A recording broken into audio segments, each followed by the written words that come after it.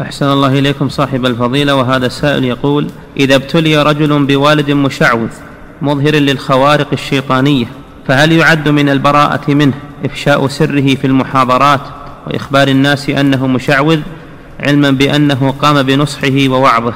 على كل حال الوالد كما سمعتم آه، له حق على ولده بالبر والإحسان والإنفاق عليه. وأيضا من أوجب الواجبات على الولد مناصحة الوالد ودعوته إلى الله. هذا إبراهيم عليه السلام أول ما بدأ بأبيه. يا أبت لم تعبد ما لا يسمع ولا يبصر ولا يغني عنك شيئا؟ يا أبت يا أبت فيناصح والده لعل الله أن يهديه. وإذا كان له أتباع معجبون به فيبين لهم ويحذرهم من ذلك من هذا المشعوذ ويبين للناس أنه مضلل وأنه آه، من أولياء الشيطان ما دام على هذه الطريقة. نعم.